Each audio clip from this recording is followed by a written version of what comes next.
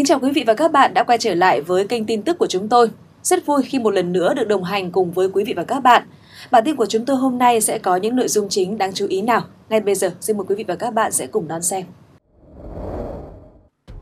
Luật pháp bất vị thần nhưng không vô tình.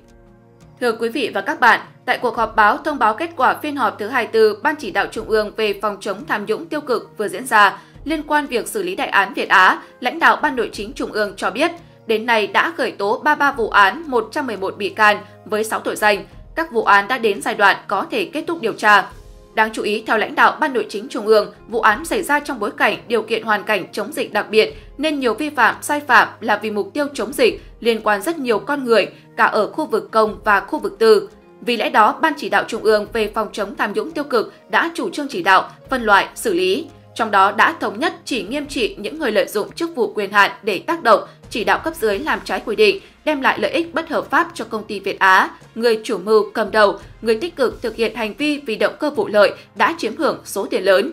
Còn một nhóm thứ yếu là những người phải thực hiện mệnh lệnh và đặc biệt không có động cơ vụ lợi, không được hưởng lợi. Họ là những người ở tuyến đầu chống dịch. Vi phạm của họ chủ yếu trong hoạt động đấu thầu. Với nhóm đối tượng này, chủ trương là tha, miễn trách nhiệm hình sự.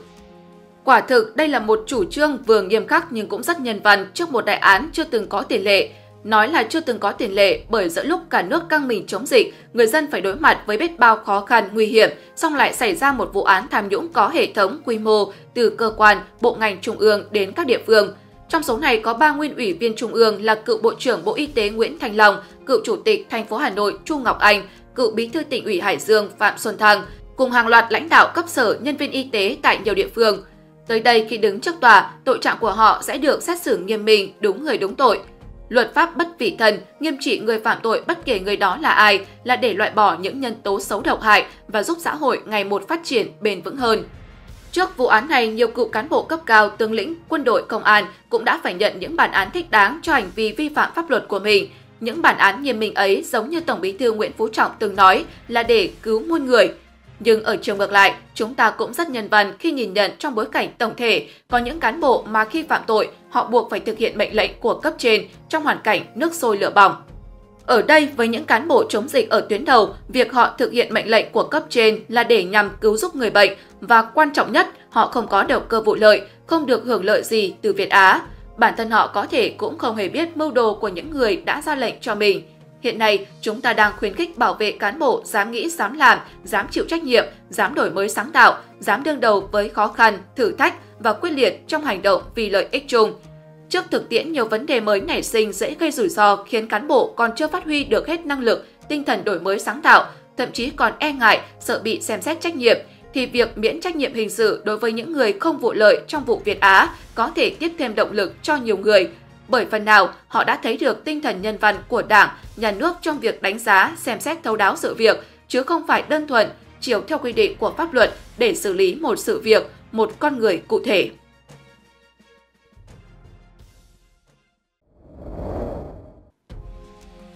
Thu hồi gần 2,7 triệu USD và 127.000 đô la Singapore của Phan Xảo Nam – Quý vị thân mến, mới đây Ban Nội chính Trung ương đã tổ chức buổi thông báo kết quả phiên họp thứ 24 của Ban chỉ đạo Trung ương về phòng chống tham nhũng tiêu cực.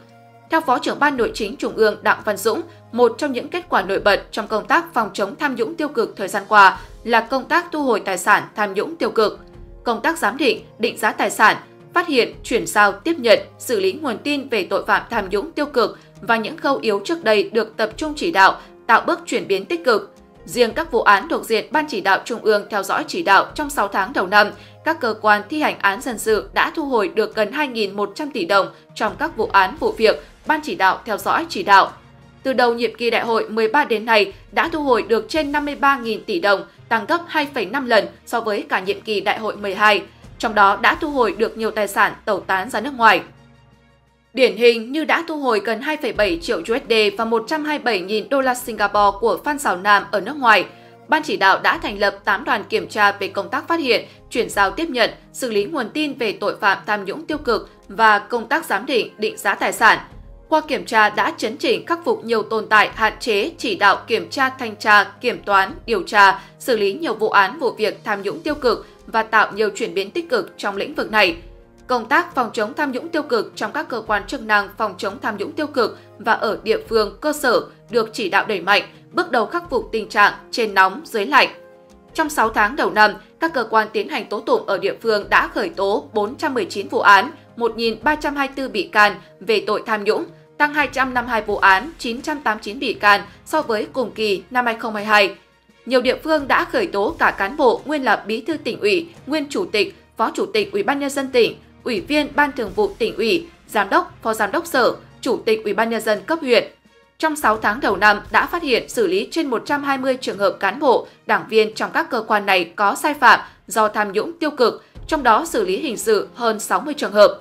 Từ đầu nhiệm kỳ đại hội 13 đến nay đã xử lý kỷ luật hơn 590 cán bộ trong các cơ quan chức năng phòng chống tham nhũng tiêu cực, trong đó có hơn 200 trường hợp bị xử lý hình sự.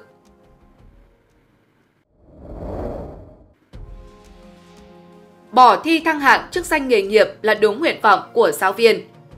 Thưa quý vị và các bạn, Phó Thủ tướng Trần Lưu Quang đã đồng ý về nguyên tắc việc bỏ hình thức thi thăng hạng chức danh nghề nghiệp viên chức, trong đó có viên chức giáo viên, theo đề nghị của Bộ Nội vụ. Như vậy sắp tới khi dự thảo nghị định sửa đổi bổ sung một số điều của nghị định số 115/2020 về tuyển dụng, sử dụng và quản lý viên chức được thông qua, các giáo viên là viên chức sẽ không còn phải thi thăng hạng chức danh nghề nghiệp. Đây là một quyết định rất sáng suốt, đúng với mong muốn của đa số giáo viên. Ví dụ như mới đây, gần 2.500 giáo viên Hà Nội viết tâm thư bày tỏ mong muốn bỏ thi thăng hạng chức danh nghề nghiệp. Về thực chất thi thăng hạng giáo viên chỉ là hình thức, tương tự bỏ hình thức thi thăng hạng chức danh nghề nghiệp viên chức là bỏ đi một loại hình thức còn tồn tại trong hệ thống. Viên chức đi làm được đánh giá bằng thực chất hiệu quả công việc. Viên chức được đánh giá qua thực tế công tác qua kết quả công việc, không phải bằng một kỳ thi. Một người vượt qua kỳ thi được thăng hạng nhưng làm việc cẩu thả không hoàn thành nhiệm vụ thì cơ quan tổ chức không cần một người như thế. Do đó, bỏ thi thăng hạng nhưng phải siết chặt chất lượng công tác, hiệu quả công việc. Một giáo viên dạy tốt, say mê nghề nghiệp, yêu thương học trò, được học trò và phụ huynh yêu quý, đồng nghiệp tôn trọng đó là sự thăng hạng xứng đáng nhất, thực chất nhất. Muốn giáo viên dạy tốt thì phải có sự đầu tư đúng và đủ cho nghề giáo. Chuyện tăng lương nói nhiều rồi, tại cuộc gặp Bộ trưởng Nguyễn Kim Sơn vừa qua đã có nhiều ý kiến về nội dung này. Ngoài tăng lương là bớt những việc linh tinh không tên để giảm gánh nặng cho giáo viên. Trong nhà trường hiện nay có quá nhiều quy định về hội họp, họp tổ, họp nhóm, hội thi, dự giờ, có thể nói là loạn họp. Hãy bỏ tất cả các cuộc họp vô bổ để giáo viên có thời gian nghiên cứu, nâng cao trình độ, đầu tư cho chuyên môn, như vậy mới có được thầy giỏi.